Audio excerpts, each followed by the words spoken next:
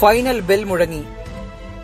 വിജയിയെ പ്രഖ്യാപിക്കാതെ തന്നെ അതാരാണെന്ന് എല്ലാവർക്കും മനസ്സിലായി കഴിഞ്ഞിരുന്നു. പത്താം വിജയം കരസ്ഥമാക്കാനെത്തിയ കർണനെ പിന്തള്ളി വിജയം വിഷ്ണു ശങ്കറിന്.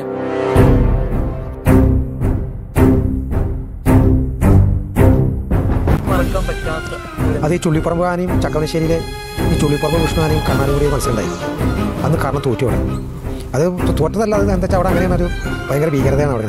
കാരണം ആൾക്കാരെ പുറത്തേക്ക് ഇറങ്ങി അടിക്കും വിട്ടെന്നൊക്കെ പറഞ്ഞു. വടക്കേ ചെയ്തു വരാം തെക്കേ ചെയ്തു വരാം. അപ്പോൾ എല്ലാ വർഷം കാരണമാണ് അപ്പോൾ ആ പ്രാവശ്യം അമ്മ അങ്ങനെ ചെയ്യും, ഇങ്ങനെ ചെയ്യുന്ന എന്നൊക്കെ ഒരു ഭീഷണി ഉണ്ടായിരുന്നു പറഞ്ഞു അപ്പോൾ നമുക്ക് ഏറ്റവും വലിയ നമ്മുടെ ആയുസാണ്. ആയുസാണ് ഇല്ല അപ്പോൾ നമ്മളതിനെ ഒന്നും ചെയ്തില്ല. ആനോടൊന്നും വേണ്ടിയാതെ നിന്നു. അന്ന് അങ്ങനെ ചുള്ളിപ്പറമ്പിലെ വിഷയം ഞങ്ങൾ ജയിച്ചു പറഞ്ഞ പുറത്തേക്ക് അവർ പറഞ്ഞു.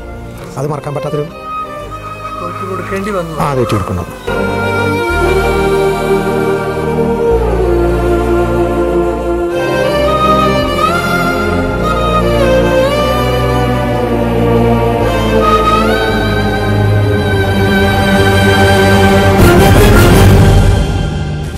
തലപ്പൊക്കത്തിൽ അവനെ പൊട്ടിക്കാൻ ആർക്കും കഴിയില്ല. അങ്ങനെ ഒരു തെച്ചുകൂട്ടാവല്ല ഒരു കർണനല്ല. ഈ കേരളത്തിലൊരു ആനയ്ക്ക് അതിനെ തലപ്പൊക്കത്തിൽ പൊട്ടിക്കാൻ കഴിയും. ഇവരങ്ങോട്ട് നിൽക്കും പൂരം കഴിയുന്ന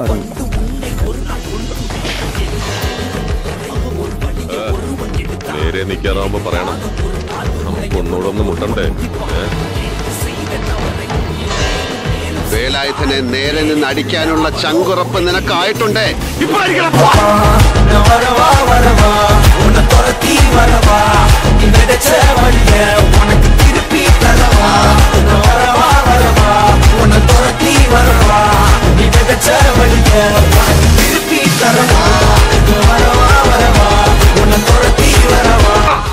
കുറെ കൂടെ നെഞ്ചുറപ്പുള്ള ആരെങ്കിലും കിട്ടുമെങ്കിൽ വിളിച്ചു കൂടെ നിർത്ത്.